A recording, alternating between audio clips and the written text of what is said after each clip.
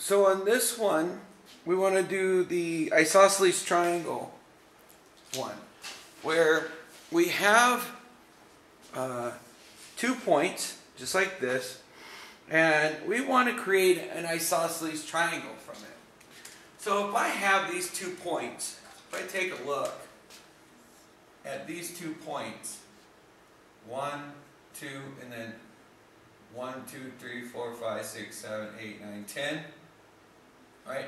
And negative three and negative two, right? Then I already found out that that distance is 13. D is 13.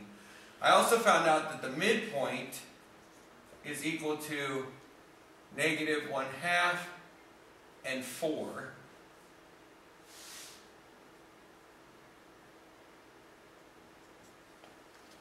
So half and 4. So I'm thinking that my my drawing isn't isn't up to par. Maybe I should be a little bit better with my drawing.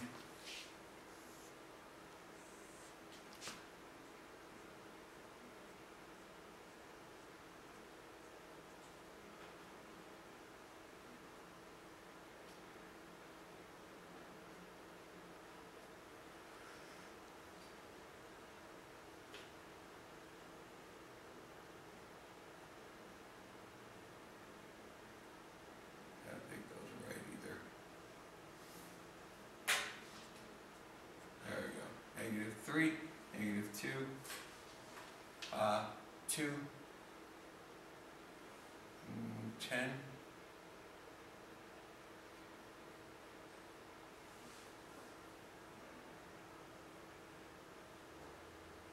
Okay, and so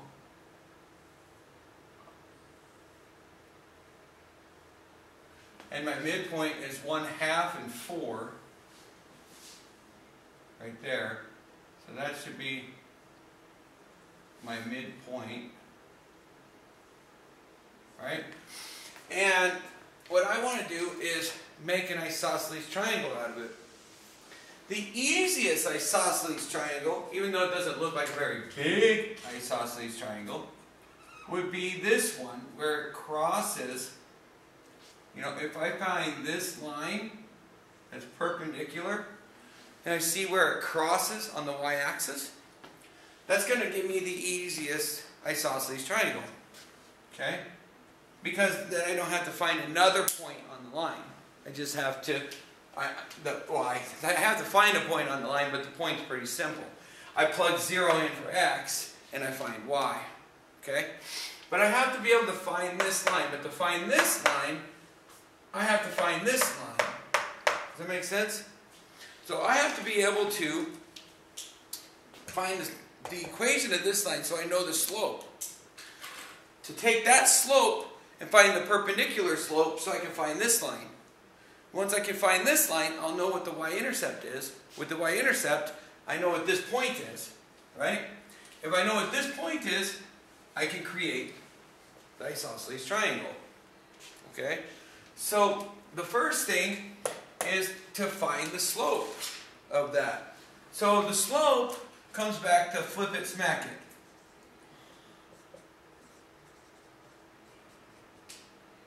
Or remember, m is equal to the difference of y over the difference of x, right? Delta y over delta x, or y sub 2 minus y sub 1 over x sub 2 minus x sub 1.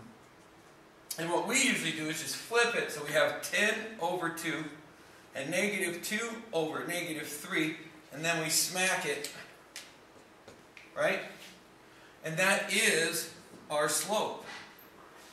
So in this case, m is equal to plus uh, 2, so that's 12, over plus 3, 5. So m is equal to 12 fifths, right? And m parallel would also equal 12 fifths. Any line that's parallel to it would equal 12 fifths. But any line that's perpendicular, right, is going to be negative 5 twelfths. because it's going to have the opposite slope. It's going to be rising and running in the opposite way, and it's also one's going to be positive, one's going to be negative. So if you think about anytime you have something perpendicular, right? When it's perpendicular, it doesn't matter how you turn it, the slope is always going to be the opposite rise and run from this guy. Okay? And the one's going to be positive, one's going to be negative. Okay? Alright? And so I have the slope, I need to find B. Right? I know the perpendicular slope, so now all I have to do is find B. In our goddess equation, y equals mx plus b. Right? And so I choose one of these. I like choosing one that doesn't have negatives. It's just easier to deal with. So y in this case is 10. m is negative 5 twelfths. x is 2. And b, well, we don't know b. That's the whole reason why we're doing it. Okay? So, I've got negative 10 over 12 plus b equals 10, right? so what I'm going to do is add 10 twelfths to both sides.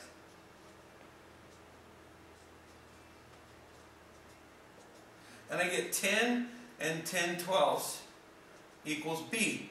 So I have b, I have m, right? So I know what the equation is, but more importantly, I know what the intercept is. So the point I need is your b, 10 and 10 twelfths, and the x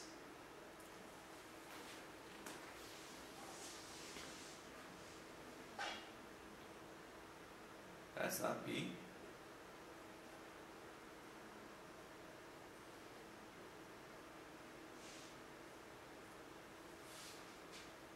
Nice 10, 2, negative 10 over 12, add 10 twelves, 10, that can't be B. B has to be. Did we do that right? 10 over 2, negative 2 over 3, plus is 12, plus is 5. That'd be negative 5 twelfths. Oh! Yeah, no, yeah, 5 twelfths, and then we multiplied it by 2. What the heck is going on here? That can't be B. That would put B up here. Oh, yeah, it is.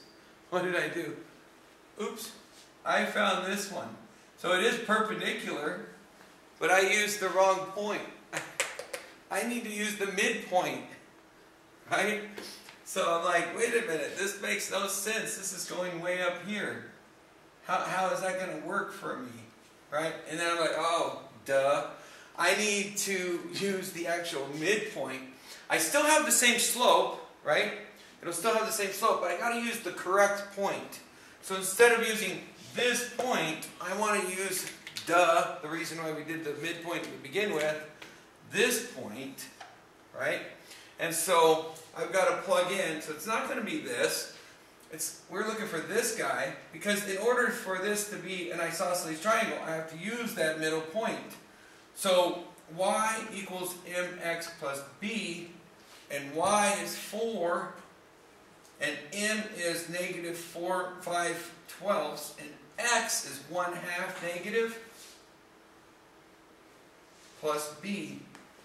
And so in this case, their two negatives make a positive, so it's 5 24ths plus b is equal to 4, right?